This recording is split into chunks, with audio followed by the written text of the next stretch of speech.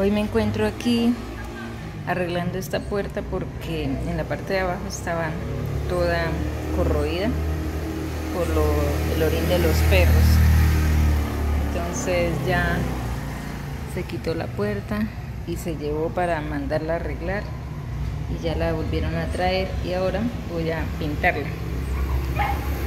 darle una manita de negro Así es como nos ha quedado la puerta. Ya pintada, miren. Toda color negro. Y muy bien terminadita.